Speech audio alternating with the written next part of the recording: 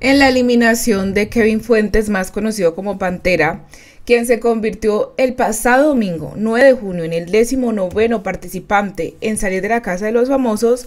el top 5 ya se encuentra a la expectativa de lo que es la última semana de competencia.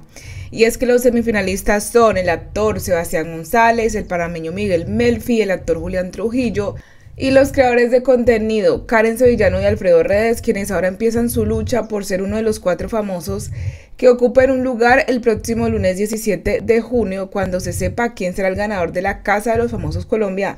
en su primera temporada. Sin embargo, durante horas de la convivencia de la Casa de los Famosos Colombia, el actor Emanuel Restrepo, bajo su personaje de Carmelo del éxito dramático Rigo, hizo entrada junto a sus dos guardaespaldas con el anhelado premio. Se trata de un maletín transparente en el que se pueden ver diversos fajos de billetes que completan los 400 millones de pesos